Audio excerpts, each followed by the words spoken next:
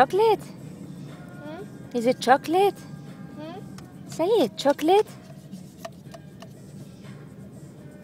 Kyle.